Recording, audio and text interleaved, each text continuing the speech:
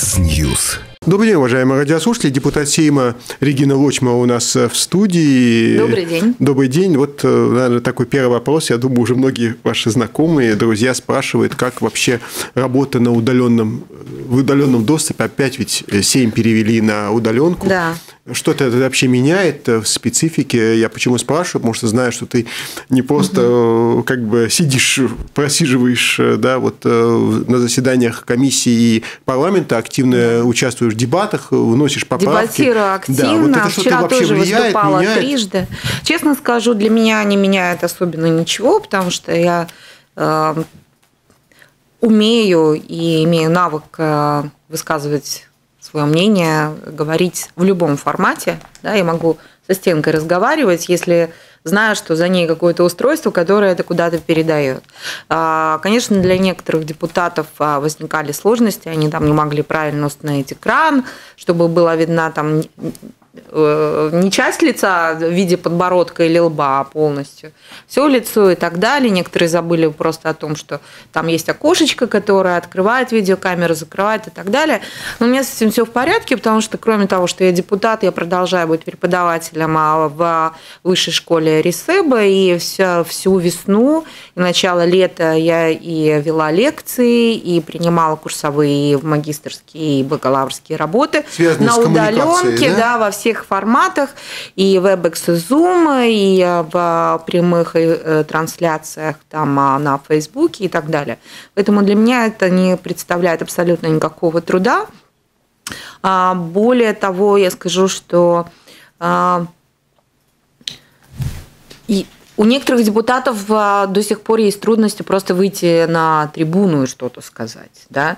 Поэтому, как у них была трудность выйти и что-то сказать с трибуны, так у них трудность выйти и что-то сказать, вернее, сидеть и что-то сказать э, через э, заботливо установленную администрацией Сейма э, программу. Да? Поэтому я также не отношусь к числу тех депутатов, которые саботируют удаленные заседания. Я считаю, что это наша работа, мы за это получаем зарплату, и мы должны работать а, вне зависимости от тех условий, которые мы поставлены. Ну, скажем так, если возникнут такие обстоятельства, что нужно будет работать, а, сидя в поле в резиновых сапогах, я буду работать в поле в резиновых сапогах. Если я буду понимать, что а, моя работа при этом что-то значит приносит хоть миллиметр результата. Нет такого вот ощущения, ну, может быть, такой сюрреалистической картинки, я к чему говорю, потому что если послушать, ну, по крайней мере, заявление, которое делает правящие, то угу. может создаться ощущение, ну, что правительство в этих тяжелых условиях пандемии, экономического кризиса... Сделало все возможное. Ну, все возможное и даже больше. Ну, по да. крайней мере, с одной стороны. С другой стороны, оппозиция говорит, что не сделано там это, это, да, это, конечно. это. Что вот на э, чем ты, на что ты э, делаешь упор в своих, не знаю, выступлениях и изменениях? Ну, во-первых, э, несмотря на пандемию, э, мы продолжаем жить реальной жизнью живых существ. Нам нужно есть, нам необходимо тепло в домах, нам нужна вода, мы должны думать о том, чтобы наши дети ходили в школу, получали образование, нам нужно просто зарабатывать деньги, чтобы оплачивать наши основные услуги. Для этого э, экономика должна существовать, несмотря ни на какие пандемии. И все, что происходит в стране на самом деле, да, это, как я говорю, весы на одной чаше весов а, жизни здоровья людей. Я тот человек, который а, не является популистом и не кричит о том, что э, пандемия и COVID-19 это все выдуманная ерунда, это не так. Могу сказать, что у меня умер э, знакомый, у меня болеют в Москве и в Петербурге большое количество друзей. У одного из моих э, друзей, у его брата буквально два дня назад умерла теща, правда, в Бразилии, но когда э, потом еще одной подруге умерла мама в Испании, и в обоих случаях люди не могли попрощаться с собственными мамами, и более того, их сейчас не подпускают, а, скажем, а, даже просто навестить могилу. А, то есть эта болезнь реальна, И, на мой взгляд, некорректно сравнивать количество смертей, сколько у нас умерло за этот период от рака или от гриппа там за предыдущие годы. Важен каждый человек. Я в этом плане абсолютно да, вот начинает спекулировать, гуманист. какое заболевание, да. какое заболевание Я более абсолютно гуманист и буду нет. переживать за смерть даже одного единственного человека, как я это делала и делаю до сих пор. И, и именно поэтому нельзя забывать не о тех, кто у нас болеет нашими традиционными смертельными заболеваниями, сердечно-сосудистыми, раком там, и всеми видами редких заболеваний. Но при этом не нужно забывать, что этот а, вирус а, будет смертельным, я могу сказать, э, помните, что рядом с нами те же больные раком, которые, если они заразятся этим ковидом, они точно умрут. И э, следующая группа риска, она очень большая, это десятки тысяч человек, это люди больные сахарным диабетом. Если диабетик заболеет ковидом, э, вероятность того, что он умрет, огромна, и э, в этом уже не сомневаются врачи ни в одной стране мира. Поэтому давайте просто думать о тех, кто рядом, а не бить себя в грудь и кричать, кричать вот, какая у нас да, у латвийцев мы не заболели, классная порядке, генетика, да. мы тут да, закаленные всякими ОРВИ а, и ОРЗ, и у нас ничего не коснется. Нет, нужно по-прежнему быть ответственным, но как я уже сказала, если на одной чаше весов жизни и здоровья людей, то на другой экономика. Экономика, которая создает базу для того, чтобы мы просто жили, потому что э, если мы не будем думать об экономике, о том, чтобы наши люди имели работу, имели зарплату, мы э, поставим под угрозу здоровье, жизнь, безопасность э, миллионов людей. Пусть у нас в стране там чуть меньше двух миллионов, но это больше, чем миллион людей. Поэтому вот в этом у меня есть претензии к правительству и в первой части, а, потому что это человек, который всегда видит а, мельчайшие нюансы определенных процессов. Да? И вот только вчера, допустим, был, была принята норма о том, что а, пограничники и сотрудники полиции имеют право останавливать машину, которая, допустим, пересекает эстонско-латвийскую границу, и проверять, ввели ли свои данные Э, которые потом а, послужат базой для отслеживания самоизоляции, те люди, которые приехали из Эстонии, а до этого побывали там, в той же Швеции, Норвегии, а, на паромах и так далее. Потому что если вы следите за статистикой, вы можете убедиться, что львиная доля всех случаев заражения все-таки приходит из-за границ.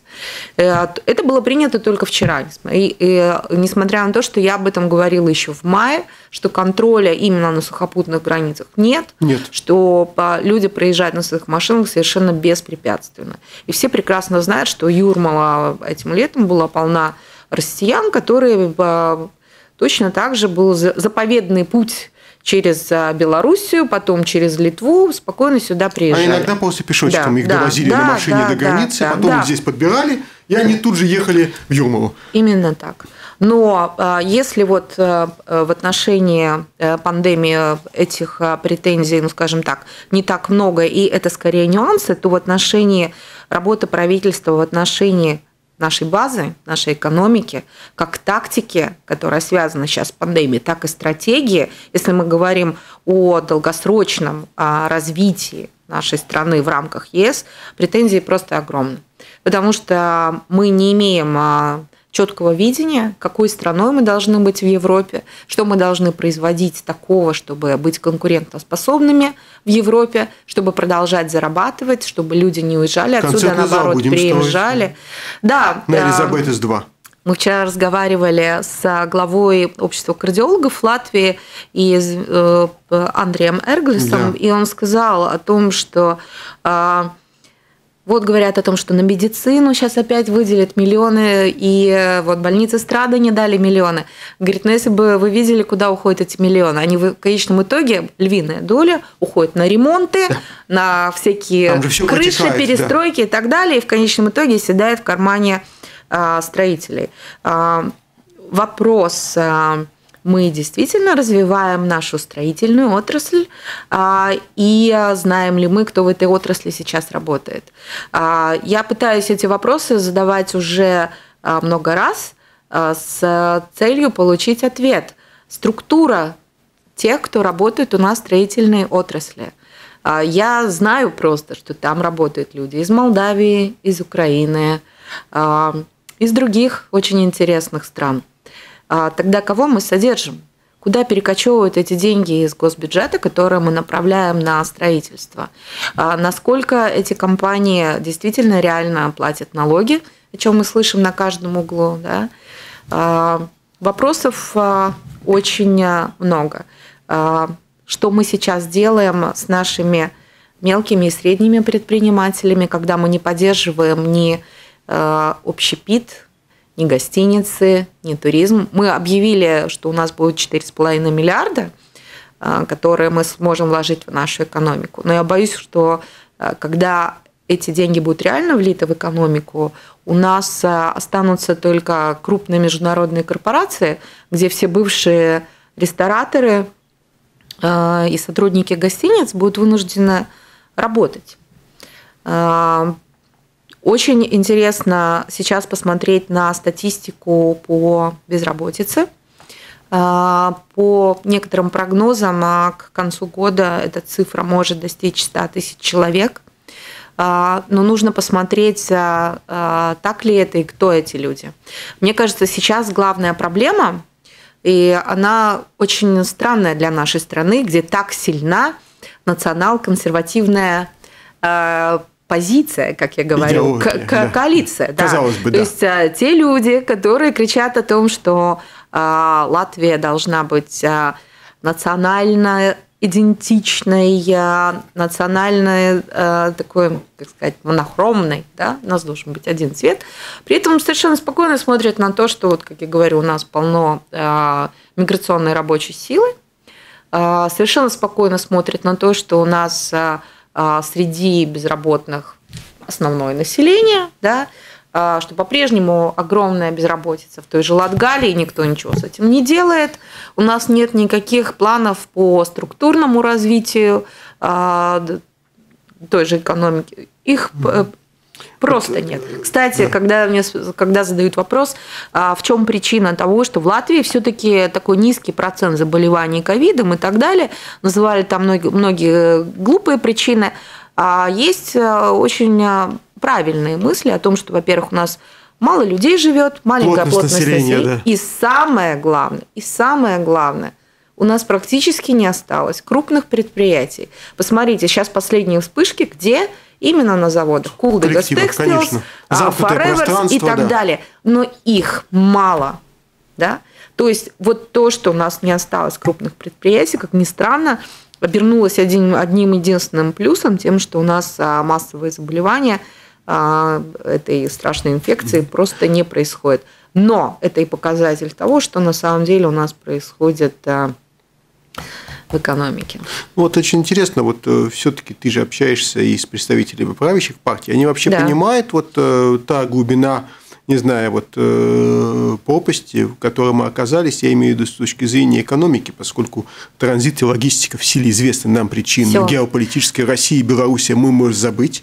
Уже железная да. дорога латвийская сейчас выступила, что вот им уже перевели 45 миллионов, сказали, нужно еще 9 миллионов, да. и так каждый год надо будет выделять миллионы на то, что просто поддерживает инфраструктуру. Транзит есть, просто это, падает в пропасть. Да, то есть да. это уже нету да. сферы. Дальше. Э, что касается нерезидентов году, финансовых, да. их тоже больше их уже нет. тоже больше нет. А как мы будем зарабатывать? В следующем году идет Уралхим, а, больше не будет вот это вот, то, чем пугает, что вот там а, аммоньяк у нас, там вот эти вот запасы химических удобрений, ах, взорвутся, взорвутся.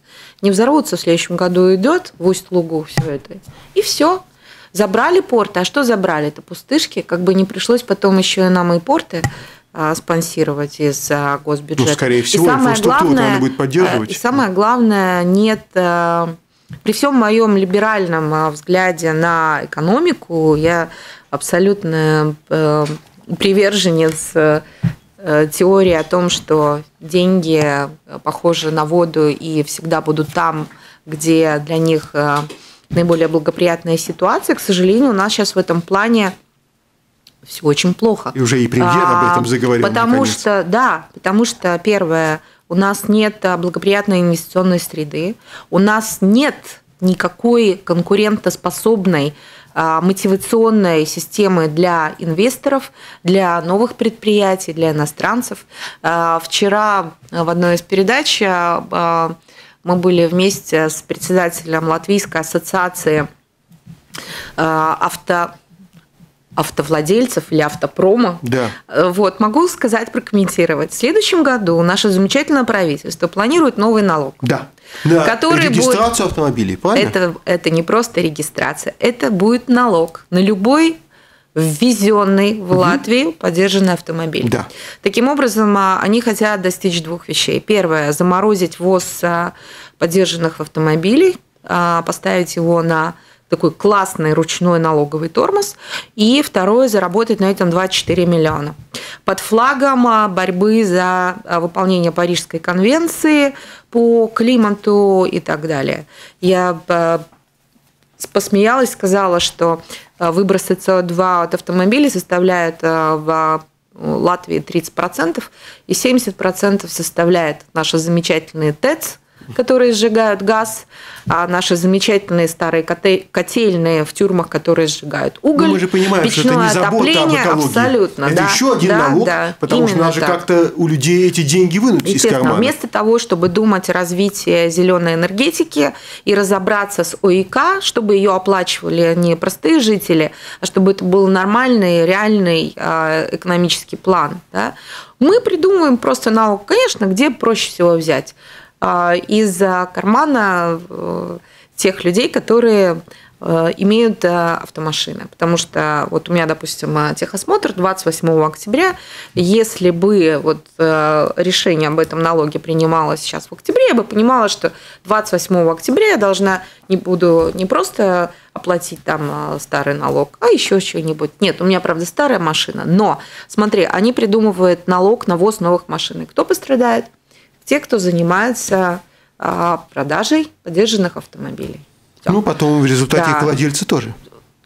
Это скажется на всем. Вырастут цены на поддержанные автомобили, при том, что бензин у нас а, как чудесный гриб растет а, всегда, он всегда в цене, несмотря ни на что, несмотря Самое на падение цен на нефть. От размера несмотря... транспортного да, налога да. дороги-то не улучшаются. Я, объясните мне одну вещь, почему в Литве а, цена на дизель составляет 87 центов, а в Латвии 1 евро и, по-моему, там 6 или 7 центов. Объясните мне, как, вот, пере, пере, э, как, как это возможно? Ну, При том, что все знают, что сырье везде одинаковое. Ну, стандартная отговорка наших деятелей, что у них мужики есть, вот, да. нефтеперерабатывающие. Это ну, такая дежурная отговорка. Это да. дежурная отговорка, которую уже давно разоблачили, и все прекрасно знают, да. что это только отговорка, и все это ерунда.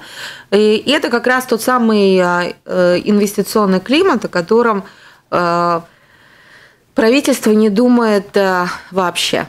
Регина Лочмеле у нас в студии, депутат Сейма от фракции «Согласие». Короткая пауза, не переключайтесь. Mix News. Регина Лочмеле у нас сегодня в студии, депутат Сейма. Вот все-таки э, есть такое ощущение, что вот, не знаю, пандемия, э, связанная с ним э, экономический кризис, но все-таки заставил правящих иногда прислушиваются и к оппозиции. Ты, правда, сказал, что отдельные какие-то идеи или инициативы, которые ты высказывал с опозданием, но потом все-таки принимается. Но есть изменилось что-то вообще во взаимоотношениях? Или также вот стена? А, я могу сказать, что а, пандемия заставила правящих не просто прислушиваться к оппозиции, а прислушиваться даже к простым людям. А, просто, скажем, то, а, над чем всегда работает оппозиция, мы ближе, мы, гром, мы не просто ближе к нашим избирателям, а мы громче. То есть нам избиратель сказал, что вот проблемы такие. Мы тут же это говорим, не дожидаясь понедельника обсуждения на коалиционном ну, совете. совете. Можно ли об этом говорить, и что мы будем Можно ли делать, там, и так далее, и так далее. То есть благодаря ковиду вот эта вот дорога между, путь между возмущением больших групп а, определенных людей, все равно это будет профессиональная группа какая-то, да, или а, люди, которые просто с, с определенным уровнем дохода, или это безработные – их возмущение очень быстро доходит до правящих, потому что а, через два года у нас новые выборы, и они понимают, особенно такие партии, которые сейчас находятся ниже плинтуса в рейтингах, как КПВ, они понимают, что если они сейчас быстро не будут что-то делать, через два года ни один из тех, кто был избран в 13 7 от этих партий, там больше не окажется. А они хотят оказаться. И это реально видно, потому насколько активизировалась их э, реклама в социальных сетях. Я смеюсь, вчера я увидела Э, в Фейсбуке рекламу э, э, министра благосостояния Рамона Петровича, где было просто открытым текстом написано, что благодаря Рамоне Петровиче в следующем году пенсия инвалида первой группы увеличится на 70%. Что вот, всего за два года наша Рамона Петровича добилась этого. Если честно, я обалдела от наглости, потому что но э, только люди, которые вообще не следят за новостями и политическими процессами, могут в это поверить, да, потому что прекрасно знают, что, э, что гарантированный минимальный доход, пенсии э, для инвалидов, минимальные пенсии по старости сейчас будут увеличены только по одной причине, потому что наш э, омбудсмен господин Янсенс подал на латвийское государство в суд, где он сказал, что наш вот это ГМИ это просто издевательство над человеческой сущностью, что на эти деньги на 86 евро прожить невозможно. Или 64 да, тоже, да. Было 64, они да. увеличили. Да. Как раз к моменту как бы заседания Конституционного суда это было увеличено. Можно подумать, что на эти деньги Да, а теперь пожить. получается так, что вот Петровича, оказывается. оппозиция ругала, ругала, сколько я выходила. Бедную Рамону чистила по всей программе по, по всем статьям, еще до того, как омбудсмен подал в суд. Потом омбудсмен подал в суд. Суд э, Сатверсма принял э, постановление о том, что да, это нарушение Конституции. Теперь правительство вынуждено выполнять решение Конституционного суда. Оказывается, это заслуга Рамоны Петравичи. Честно, мне не жалко, но я как человек, который привык говорить правду, не могу не сказать. Э, дорогие друзья, это достижение не Рамоны, а это достижение всех. И вас, те, кто возмущался все эти годы, и оппозиционных партий, и а, омбудсмена, что наконец-то мы а, достучались. Как я уже сказала, просто вот сейчас, благодаря ковиду, вот это вот достучались происходит очень быстро. Но это означает, что нужно давить, продолжать давить на правительство в любом виде, в, любой, в любых формах протест. А не обидно, с одной стороны, что вроде бы и оппозиция активно работает, и в результате, ну, пускай благодаря Конституционному суду в том числе, но удается добиваться там э, тех или иных важных вообще вещей, а в основном часть, по крайней мере, не хочу всех, угу. часть избирателей в основном обращает внимание на какие-то скандалы. Вот там одного, там два депутата ушли, там третья ушла сама, и в основном приходится говорить об этом, угу. о каких-то внутренних, внутрифракционных ну, разборках. Это человеческая природа. А, а, недаром а, человек, пришедший из журналистики, очень четко понимаю, почему все самое популярное относится к желтой бульварной новость, это плохая новость, да. прессе. Да, да, да, да. да. Я считаю, что все равно нужно продолжать говорить о том, что мы чего-то добиваемся. Вот, например, я считаю, я на прошлой неделе была, прошлый четверг, просто счастлива, потому что э, правящая коалиция с трибуны была вынуждена Э, я не буду говорить о том, какими методами мы добивались этого. этого. Э, признала, что будет, что выделены деньги в бюджете 2021 года на выплату компенсации жильцам денационализированных домов. Я добивалась этого 6 лет. Я первый раз подавала поправки к бюджету, чтобы эти деньги были выплачены в 2014 году. А может, в случае принятия да. закона об аренде да. жилья, а он будет принят, они да. вообще окажутся э, в незавидном положении? А, нет. Там есть одна поправка, которая будет, которая этого не позволит. А, значит, во втором чтении мы не смогли ее провести, а, только нам не хватило одного, одного голоса. голоса да. Да? К сожалению, наш Ивар Зарин в тот момент давал интервью и запоздал на голосование. Но к третьему чтению мы это все проработаем. Более того, там есть мысль внести эту поправку в другой закон, а именно закон о помощи по получению жилья. В любом случае, у меня есть план, как действовать дальше. Могу сказать тем людям, которым мне задают вопросы по поводу процедуры и что будет с теми людьми, которые не состоят ни в одном из регистров и не являются малообеспеченными и так далее. Могу вас пока не то что успокоить, я никак не люблю давать обещаний, которые, эм, которые не могла бы выполнить на 100%. Но здесь будет так. Первое, что гарантирую 100%. Все, кто в данный момент находится в э, регистре э, в Mayo Cluvides Departments, получат деньги, которые они должны были получить э, по закону еще в 2009 году. Наконец-то, спустя 11 лет, это жутчайшая несправедливость будет исправлена. Более того, я призываю тех людей, которых есть возможность а, встать на учет в этот регистр, сделать это как можно быстрее. В любом случае, э, деньги на эти компенсации выделены в так называемой а, э, трехлетней а, перспективе. То есть на 2021 год выделено 2,7 миллиона евро, на 2022 выделено полтора миллиона, и на 2023 выделено 2 миллиона. Именно с той целью, чтобы постепенно сначала выплатить тем, кто находится в регистре, затем э, выплатить тем, кто подойдет э, следующий по документам, а также для тех жильцов, которые продолжают жить в национализированных домах, но зная эту программу, причем я призываю не только жильцов денационализированных домов, но и самих домовладельцев, подумать о том, что для вас сейчас открывается нормальная возможность цивилизованно расстаться с теми э, людьми, которых вы пытаетесь э, Вытравить всячески, да, в том числе незаконными методами, вытравить э, из ваших великолепных домов в центре города. Давайте вы все-таки проявите как это лучше выразиться? Я, конечно, понимаю, что люди, которые не имеют сердца, вряд ли у них это сердце появится, но в данной ситуации а, мы а, создаем экономический контекст для того, чтобы эти отношения, этот Гордиев узел, который завязался в начале 90-х, был наконец-то разрублен. И самое последнее, я знаю, есть люди, которые выехали из этих домов добровольно, просто не выдержав этот прессинг, а, не выдержав этих унижений, у которых, а, как вот мне недавно рассказывала одна семья, просто сын, а, который заработал денег за границей, приехал, купил родителям квартиру и сказал, хватит, все, вот переезжайте. Он говорит, естественно, мы ни в каком регистре не состоим. И для меня задача максимум, может быть, это мечта, чтобы даже вот такие люди, которые в свое время просто положили угу. ключи на стол домовладельцев, сказали, подавитесь, да, чтобы они тоже что-то получили.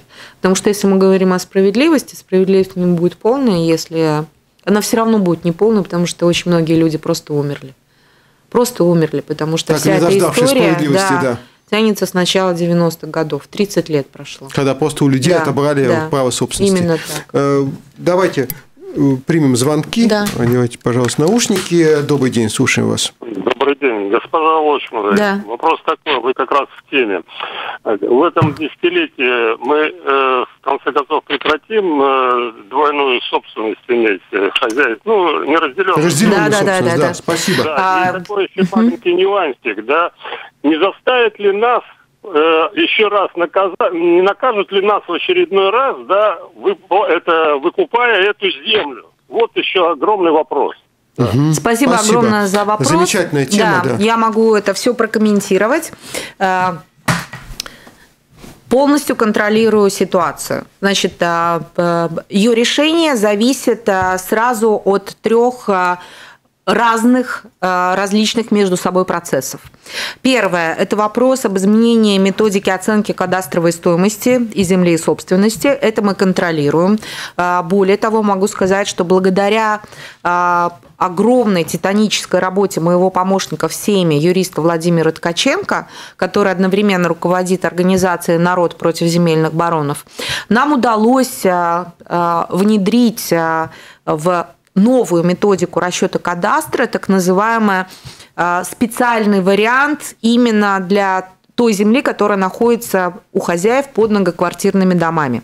А, по новой методике впредь а, будет две зоны расчета кадастра этой земли.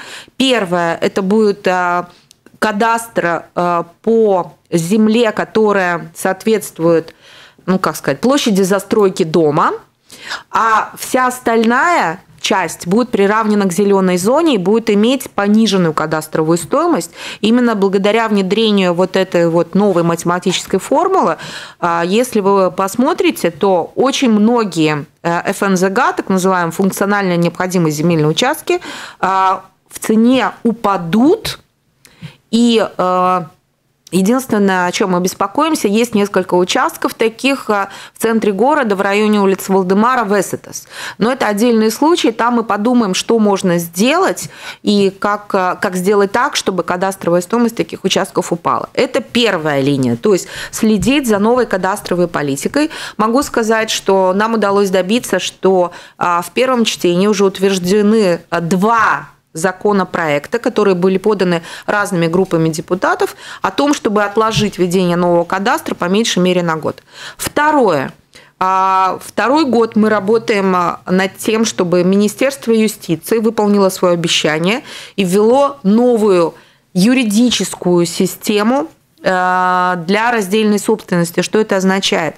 Если сейчас существует институт принудительной аренды земельных участков, то в дальнейшем это будет приравнено к так называемому законному пользованию землей, то есть фактически к земельному сервитуту.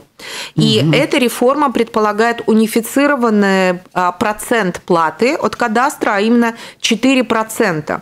Многие говорят, ну вот, все равно 4%. Могу вам сказать следующее, что раздельная собственность возникает в том числе и тогда, когда земельным участком под домом владеет не какое-то частное лицо или фирма, а государство или самоуправление. Тоже, и кстати, бо... разделенная да. собственность. И более того, если сейчас вы за эту землю платите полтора процента, то в будущем государство планирует взимать за это 4%. Почему вот э, я всех людей, которых я консультировала лично, когда им предлагали приватизировать землю под домом, говорила, приватизируйте, потому что не будет полтора процента, будет выше. Поэтому а, мы поддерживаем вот этот вот унифицированный подход 4%, потому что он, во-первых, будет а, справедлив по отношению ко всем людям, которые находятся в ситуации раздельной собственности. Во-вторых, он облегчает а, возможность обхозяйствовать эту землю. То есть, если сейчас а, жильцы дома должны спрашивать разрешение у владельца земли, чтобы построить автостоянку, поставить детскую площадку, то в случае сервитута этого делать не надо будет. Вы сможете сами распоряжаться а, всей землей, которая примыкает к вашему дому как функциональный участок. А, и, наконец, третья линия. Сейчас мы вернулись к рассмотрению закона о а, возможном выкупе а, земли владельцами квартир. Могу сразу сказать, что здесь а, позиция моя личная абсолютно принципиальна, и я буду биться до конца, и она не совпадает здесь, к сожалению, даже с позицией такого оппозиционера, как Виктор Валайнес, потому что наша позиция такова – что э, землю должны иметь право люди выкупить э, не за 100% от кадастра, а за 50%. Это так, мы начинаем торг с этих 50%, могу сказать честно. 100% это просто готовность э, положить огромную сумму. Скажу, что на кону, на кону по меньшей мере от 150 до 200 миллионов евро, за которые может быть выкуплена земля под многоквартирными домами по всей Латвии. Вы просто хотите опять государство а, взять эти деньги из карманов простых жителей и переложить их в карманы земельных баронов. Там есть, конечно, нормальные землевладельцы, но а, уже одного господина Шлитке с его аморальным подходом а, к аморальному бизнесу вполне достаточно, чтобы этому противиться. И второе. Банки и а, землевладельцы хотят, чтобы процесс выкупа происходил одномоментно, то есть, чтобы выкупался весь участок, и чтобы для этого было достаточно половины плюс один голос – а, владельцев квартир в конкретном квартирном доме. Мы считаем, что это абсолютная несправедливость, потому что представьте, ну вот там Хрущевка на улице Весетес, 50 плюс один голос проголосовали за то, чтобы угу. выкупить э, землю, которая стоит примерно ну, 300-400 тысяч евро сейчас по кадастру. А остальные 49 э, э, голосов – это пенсионеры, которым просто не, не с чего платить а, а, и выкупать эту землю. Банки заявили уже, что они готовы предоставить кредиты. Но получается, что а, пенсионер не сможет, ну, даже не пенсионер, просто какой-то человек не сможет заплатить. И что мы будем иметь? Его дом Аймадаля и его квартира перекочуют банку? И это что, конец раздельной собственности? Нет. Поэтому угу. наше условие такое – а, что а, не нужно никаких 50 плюс один голос, что каждый, кто владеет квартирой, имеет право сам решить и выкупить свою конкретную долю в земельном участке. И пока это не сделают все, а, институт раздельной собственности будет существовать. Потому что, на мой взгляд, цель-то не ликвидировать вот эту вот институт раздельной собственности, а сделать так, чтобы люди перестали платить эту принудительную аренду, чтобы их платежи уменьшились, потому что это сейчас стало одной из составляющих коммунальных платежей, которые совершенно несправедливо платит только часть владельцев квартир в крупных городах, только потому, что в начале 90-х в итоге дикой приватизации – Латвия единственная страна в Европе, которая провела денационализацию, приватизацию таким образом, чтобы я бы сказал, варварским вообще по Абсолютно. отношению к своим собственным ну, жителям. Вот, да. да, в этом плане мы варварские лидеры по варварству. Да. Вот. Э, последний вопрос, совсем мало времени у нас остается. Понятно, что за 2-3 минуты не ответить. Тем не менее, вот как ты считаешь, исходя из твоего опыта и политического, и журналистского, можно ли говорить о том, что в согласии есть кризис? Или есть какие-то взлеты и падения, что для партии, которая давно на политической сцене, вполне нормальное явление? Или а, это кризис? Первое. В согласии есть кризис. Это раз. А, второе. То, что в согласии кризис, это совершенно нормально для большой партии, которая действует на политической арене Латвии такое количество лет. Мой папа вступил в эту партию в 1993 году. Названия были разные. Да. Но совершенно ясно, что цели и идеи были э, теми же самыми. Сейчас э, пришло новое поколение, с которым нужно говорить по-другому, с, которого, с которым, во-первых, нужно начать говорить, которое нужно понять. И э, я пытаюсь даже своим товарищам объяснять некоторые вещи. Э, ну, например, что э, нам не просто нужно перестраиваться, нам нужно снова идти разговаривать с людьми, понять, а, что их интересует, и меньше заниматься идеологией внутренними распрями, а больше заниматься а, осознанием того, что нужно людям, чего они от нас хотят и как мы можем этому помочь. И самая главная моя идея, и я ее обязательно а, буду пробивать к 2022 году, о чем я хотела бы говорить а, с людьми. Мне кажется, это неправильно идти а, на выборы а, и бить себя в грудь. Мы сейчас победим, мы возьмем власть, мы будем там в правительстве, мы будем те. Для меня это не является главной целью. Допустим, когда мы идем в Сейм, мы осознаем, что из-за красных линий, из-за геополитических интересов согласие вряд ли кто-то когда-либо возьмет в правительство. Но поймите, Оппозиция – это абсолютно необходимая вещь в нашем семье. Просто представьте, если Я бы сказал, нас больше не будет. в любой демократии. Это, знаете, это как в человеческом организме в составе крови есть очень разные э, тела. Красные, белые, есть антитела. И у всех своя роль. Я хочу быть вот тем э, очень таким неудобным антителом, которое не позволит э, правящим делать все, что они хотят. А поверьте мне, если бы они делали все, что они хотят, жизнь бы у нас в стране была бы совершенно некомфортной для тех людей, которые не являются чиновниками, которые не имеют большой собственности и которые не живут за границей с мечтой о том, чтобы здесь была маленькая, миленькая латышская Латвия. Это я вам говорю с полной ответственностью. Потому что я сказала об этом уже сразу после начала работы 13-го Сигма. То, что сейчас происходит в Латвии, это возвращение полной власти, а, полной политической власти а, представителями зарубежной диаспоры. Даже да. так? Я, да, я в этом полностью убеждена, я это вижу это и убеждаюсь в этом каждый день. Ну что ж, это, наверное, тема отдельного разговора, может, даже исследования. Да, Регина да. Лочмова у нас была в студии. Большое спасибо.